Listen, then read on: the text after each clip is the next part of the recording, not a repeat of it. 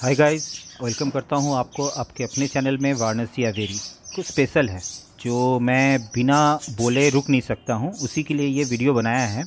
जैसे आप जानते हैं, मेरे पास वन पेयर ऑफ़ फिंच है, जो मैंने उसको अलग से लिया हुआ था because they are very cute and very lovable अगर अभी तक आपने सब्सक्राइब नहीं किया है तो ज़रूर से सब्सक्राइब कर लीजिए इस चैनल को, ताकि आपको एडवेट मिलता है नोटिफिकेशन ज़रूर से बटन क्लिक कर दीजिएगा, ताकि नोटिफाई भी होता रहे। नया नया जब आपके पास वीडियो मैं आपके लिए लाता रहूँगा।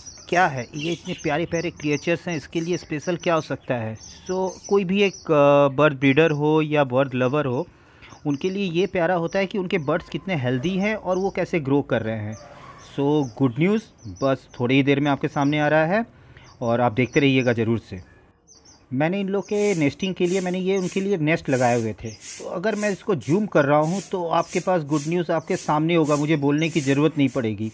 आप देख पा रहे हो आपका ये गुड न्यूज़ क्या है? So they have laid their first egg उन लोगों ने अंडा हैच किया हुआ है, जो काफ़ी हेल्दी लग रहा है और वाइट है। सो दैट मीन्स कैल्शियम की कोई कमी नहीं है हमारे बर्ड्स में। ये एक दिन की सुबह की बात है, जैसे नॉर्मली सुबह फर्ट फ़ीड करने के लिए, पानी देने के लिए अंदर जाता हूँ तो अंदर से देख रहा हूँ कि ये सफ़ेद कलर का क्या दिख रहा है, इनके फीडिंग जो नेस्ट है, इसमें क्या देख रहा हूँ। तो मुझे लगा पहले कि हो सकता है कैल्शियम का टैप जो मैं देता हूँ, वही वो अंदर लेके चले गए हूँ।